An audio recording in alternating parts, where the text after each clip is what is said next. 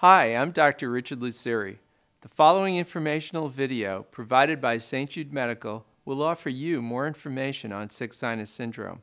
It will lead you through a description of the disorder, symptoms, risk factors, and treatment. Sick sinus syndrome, or SSS, is the name for several heart rhythm disorders in which the sinoatrial or sinus node does not work the right way. According to the American Academy of Family Physicians, this progressive disorder affects 1 in 600 people known to have heart problems.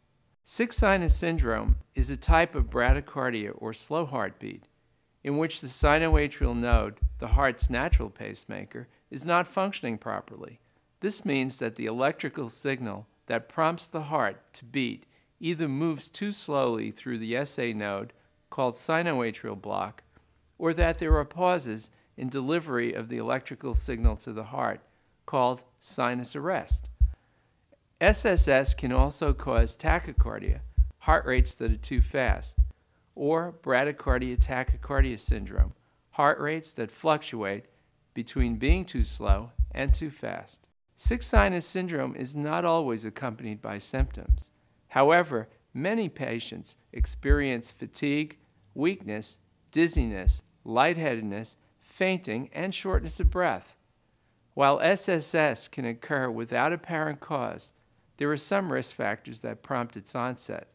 Controllable factors include high cholesterol, high blood pressure, diabetes, smoking, alcohol abuse, stress, and certain medications.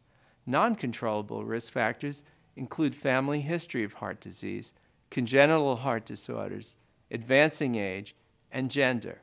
Because sick sinus syndrome can cause either slow heart rate, bradycardia, or fast heart rate, tachycardia, there are multiple treatment options depending on the arrhythmia. Bradycardia is usually treated with a permanent pacemaker. A pacemaker is a small artificial device that is designed to regulate the beating of the heart. Inside the pacemaker are a battery, which acts as a power source for the device, and a microscopic computer that listens to the heart's native electrical rhythm.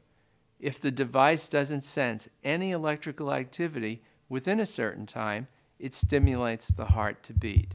Bradycardia tachycardia syndrome is treated using a combination of methods a pacemaker to control the bradycardia, and medication to manage the tachycardia. This video was created by St. Jude Medical to provide information about heart failure and cardiac resynchronization therapy. This is not a substitute for medical advice. If you have any questions about a heart condition, please talk to your physician. Thank you.